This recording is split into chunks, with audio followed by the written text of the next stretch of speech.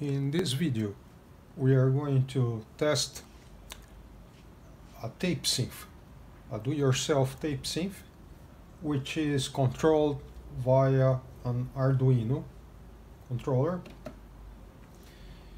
And the idea is that I do record a single note of an instrument, in this case FM string and I will control the velocity of the tape speed using a MIDI key keyboard. And with that, each MIDI keyboard is going to, each MIDI key is going to play a different speed in the cassette and thus resulting in a different note. So let, let's test it.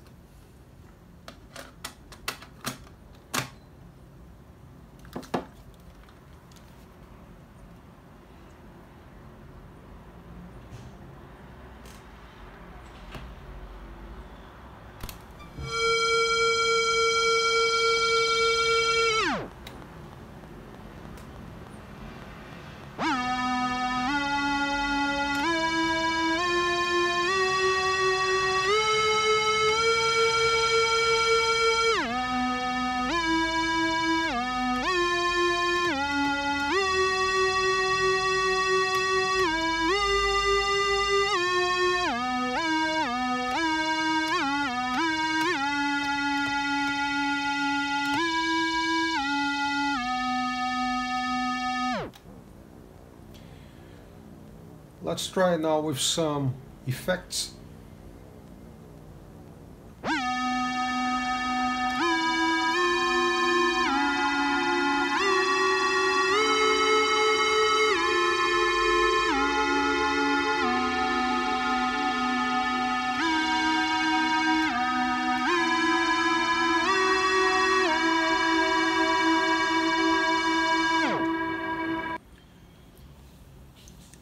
I must point that the inspiration for this instrument comes from the Onde Magnetique OM1 cassette synthesizer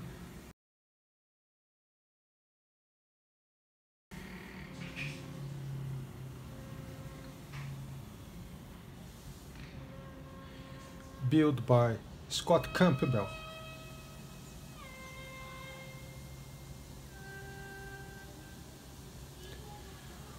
One day per year, Scott sells this device on a pre-order basis, but it is sold out in minutes.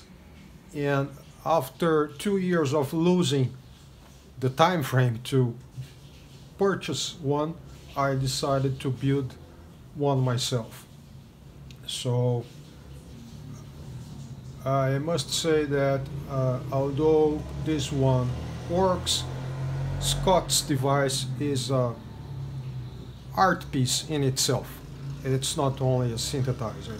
So uh, I can do the same sounds here, but I will still one day or one year be able to purchase the OM1.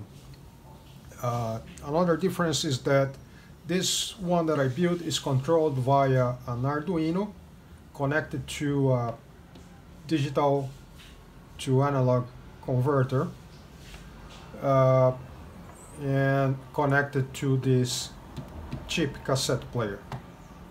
Uh, if you are interested in building one, I will post some additional details about this particular build model. I'm using the Sony TCM 150 I also must disclose that I used the project from Infinitedigits. He makes available a GitHub repository with the Arduino code, so it's very convenient. You just need to do an adaptation to your own cassette player model. The main difference is that this project allows you to control the cassette via a MIDI keyboard and if you want you can even use a DAW in your computer to control it. But in the other hand you need a computer so it's not that portable. Okay, let's try to make some music here. I will record a loop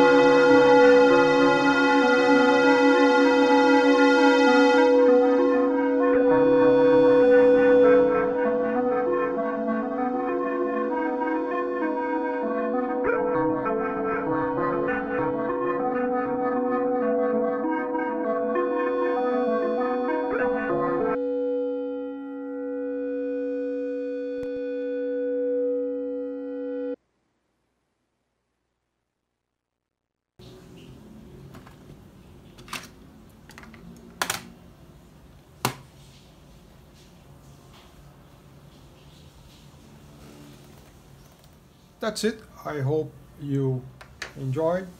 And if you want to build one tape synth yourself, I am providing all the necessary links in the video description.